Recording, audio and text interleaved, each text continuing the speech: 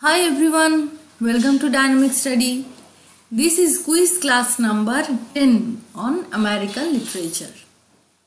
I have already uploaded a lot more quiz class uh, on the YouTube channel as well as on the website. So please go to the website, solve the questions. I hope it will definitely help you in your exam preparation. So let's start today's quiz class. First question. The death of a beautiful woman is unquestionably the most beautiful thing in the world. Very shocking comment, isn't it? So, identify the source of this comment. You need to find out who has said uh, this line in which work. Okay?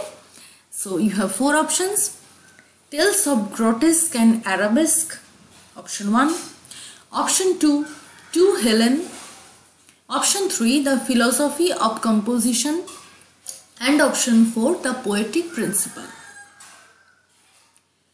So what is the source of the comment? The right answer is option number 3 the philosophy of composition and it is a critical work written by Edgar Allan Poe. Um, Poe has also written another critical work the poetic principle to Helen and um, Lenore is uh, also another poem. These are two poems written by Edgar Allan Poe and uh, he uh, he has written a famous collections of his sea adventure stories which are known as Tales of Grotesque and Arabesque.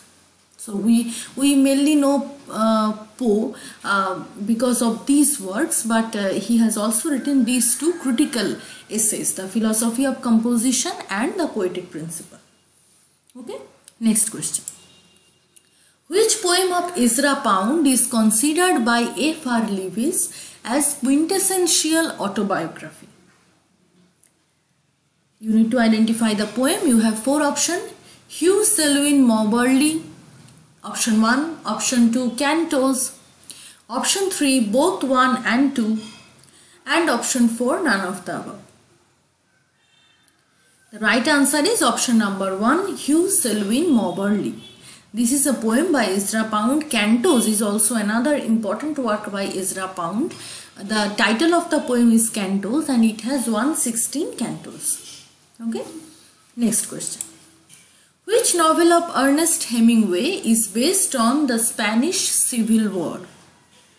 Which novel? Option number 1 The Sun Also Rises. Option 2 For Whom the Bell Tolls. Option 3 The Old Man and the Sea. And option 4 Death in the Afternoon. The right answer is option number 2 For Whom the Bell Tolls. The title is taken from Donne's poem, John Donne's poem. John Donne has written uh, a poem No Man is an Island. So this poem uh, has the line for whom the bell tolls it tolls for thee. So from this line hemingway has borrowed the title of this novel. I hope you have read uh, one novel of hemingway definitely. That is the old man and the sea. It is often prescribed in uh, the syllabus. The old man and the sea is a novel of um, uh, it, it is set in cuba. It talks about a fisherman santiago. His struggle uh, how he has spent 84 days without any food and how he has finally um, catched a huge marlin uh, after a lot of fighting with sharks. So it is a story about life struggle survival fighting um, that is the novel. Okay next question. Which novel of hemingway is about bullfighting which uh, novel has the bullfighting as the theme. Option 1, uh, The Sun Also Rises. Option 2, For Whom the Bell Tolls. Option 3, The Old Man and the Sea. And option 4, Death in the Afternoon. The right answer is Death in the Afternoon, option number 4. Okay. Next question. Which novel of James Fenimore Cooper was influenced by Jane Austen? As I have mentioned in the previous work, uh, sorry, in previous quiz class that uh, James Fenimore Cooper uh, is mainly famous for his Leather Stocking Tales, which is a collection of five novels. Okay. So here you need to identify which novel was influenced by Jane Austen. Option 1 The Spy, Option 2 Precaution, Option 3 Leather Stocking Tales and Option 4 none of the above. The right answer is option number 2 Precaution. Precaution is a novel which was influenced by Jane Austen. Question number 6. Washington Irving wrote biographies of two famous personalities. Who are they?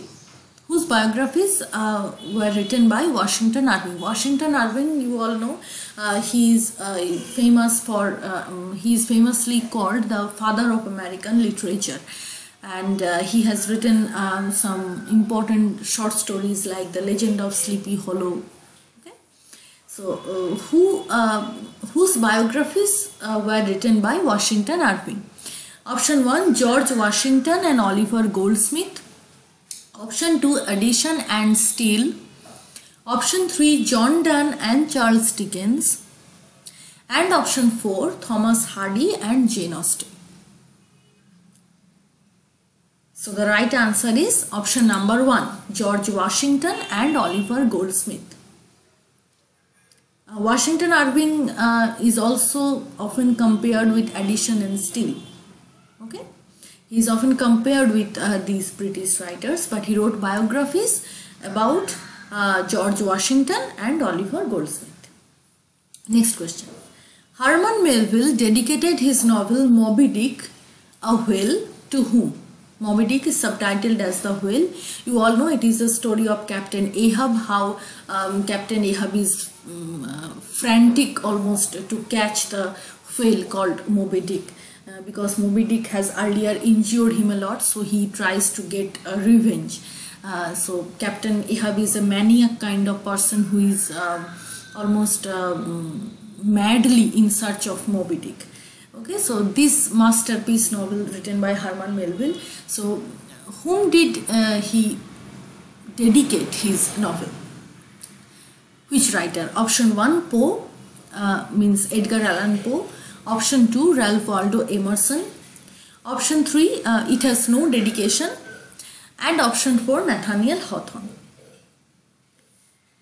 The right answer is option number 4 nathaniel hawthorne Melville has dedicated this novel to Hawthorne. Question number 8. Edgar Allan Poe's poem The Raven was influenced by a famous British novel. Identify the novel from the following options. Edgar Allan Poe's most famous work is The Raven and uh, Nevermore.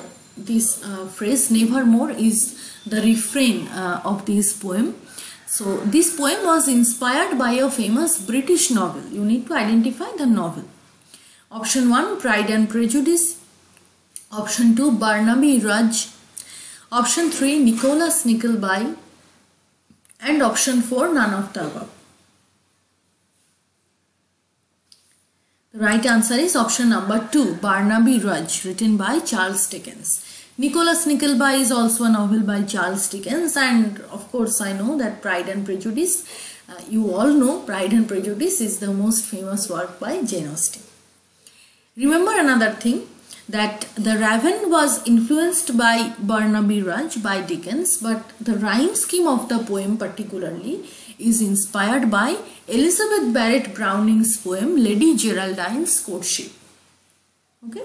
So in general, the poem was influenced by uh, Dickens's novel, but particularly if we talk about the rhyme scheme, then it is borrowed from Elizabeth Bar Barrett Browning's poem Lady Geraldine's Courtship.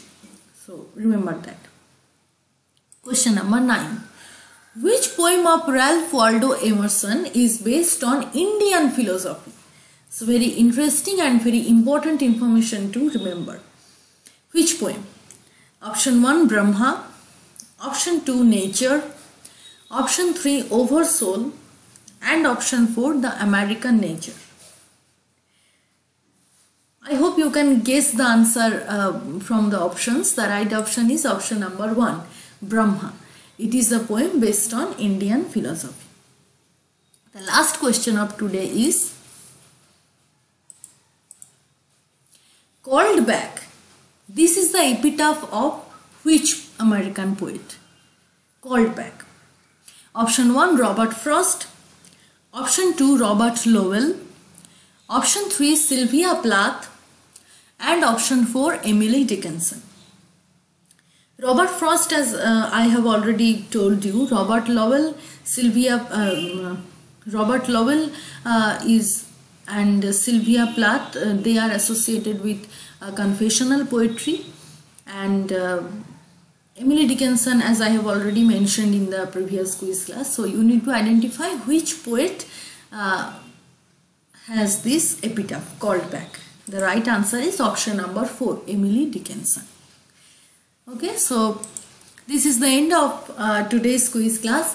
Thank you very much for watching. Keep on watching. Keep on learning dynamic study uh, please like this video share this video with your friends and also put your opinion in the comment section. We will meet very soon in another interesting class. Have a nice day and bye bye